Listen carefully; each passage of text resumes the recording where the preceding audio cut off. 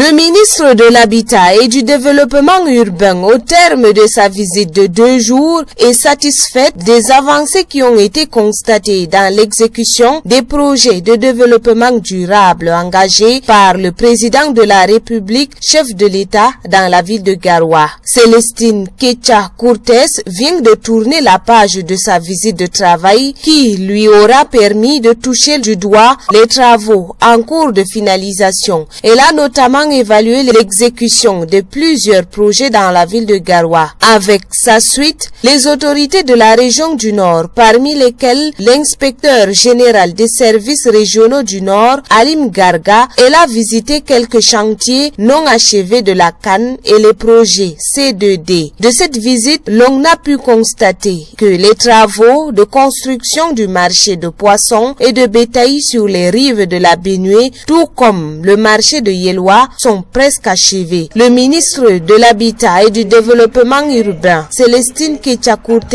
a achevé le premier épisode de sa visite par le parc Boisé où elle a présidé une séance de travail consacrée à l'état diagnostic de ce qui reste à faire avec les acteurs. Je voudrais dire qu'il reste quand même quelques que de chantiers que je porterai à la très haute attention du président de la République, quelques bouts de chantier de la Cannes qui méritent d'être parachevés parce que pour la plupart, c'est des voies de mobilité urbaine très importantes qui vont venir compléter les importantes voies faites ici à Garoua. Nous avons également visité l'important projet de coopération avec euh, l'AFD, c'est-à-dire Coopération France-Cameroun, qui viendra ajouter du beau, comme je l'ai dit, à l'ensemble des, projets que le chef de l'État a impulsés ici à Garoua. Au cours de son séjour, Madame le ministre a présidé l'atelier de sensibilisation des magistrats municipaux sur la déclaration de Bertois. Cet atelier aura permis aux maires la région du Nord d'être outillés sur le contenu de cette déclaration, mais aussi sur les textes qui régissent l'urbanisme du Cameroun. Un atelier au cours duquel les maires de la région du Nord ont été sensibilisés sur l'importance de maîtriser les règles de l'urbanisme.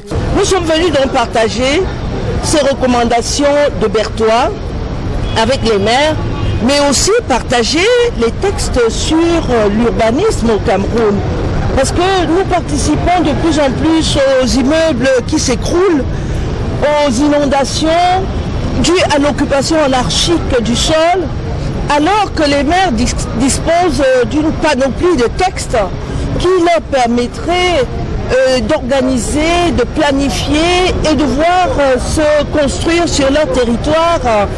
des immeubles selon les règles de l'art qui contribuent à la beauté des villes. Donc nous avons passé de bons moments parce que euh, nous avons pu enregistrer les contributions des uns et des autres, mais surtout nous rendre compte de ce que les maires vont partager avec leurs services techniques ces recommandations. Célestine Cortés a encouragé les maires de la région du Nord à tout mettre en œuvre pour le développement de la ville en s'inspirant de ces mécanismes, ceci au bénéfice de leur population.